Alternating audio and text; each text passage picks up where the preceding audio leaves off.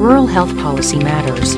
It should be crafted by informed decision makers from research that's easy to find and understand.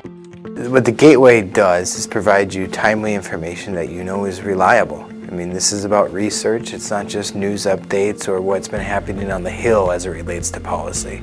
This is investigative research, and you know it's coming from the most reliable source.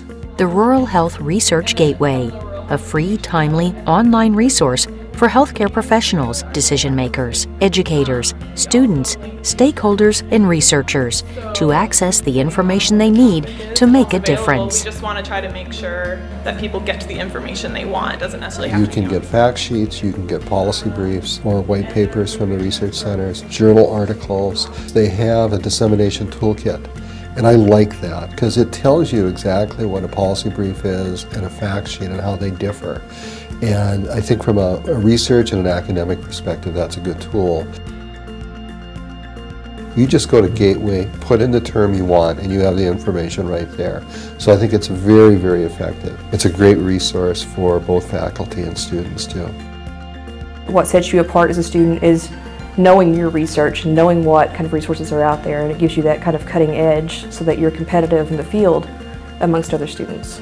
But it also works really effectively, I think, for people who are policymakers. The Gateway makes it easy for me to cut through the clutter. Uh, I'm able to get right to what I need specifically with the policy issues I'm looking at. And so the alerts allow you to indicate your preferences and what issue areas am I most concerned with. So whether it is I'm looking for that policy brief or publications, chart books, or even if I've missed a recent webinar, it's going to keep me up to date on all of the information and resources available at Gateway. So being able to access, you know, when an upcoming webinar is going to occur through Facebook and really utilizing those social media resources to stay in touch with the latest news and updates on, on those particular topics is very helpful. I follow Gateway on Facebook. Uh, they allow me to stay current with the rural health information that's going on throughout the country and I get invites to uh, various webinars uh, that I can attend or watch some that have been archived. Being a part of a live webinar allows me to actually interact with the process, with the learning process.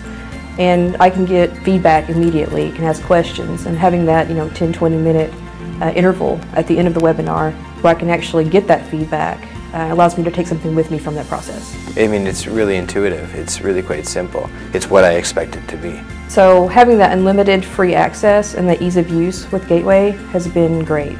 That transitions over well into uh, my professional career because I ha already have a resource that I can use and I'm comfortable with. It's the best of both worlds coming together. Something that's useful and is free is something we don't get every day. So I think that's a real strength of Gateway. Funded by the Federal Office of Rural Health Policy, with a mission to spread its rural health services research to all audiences.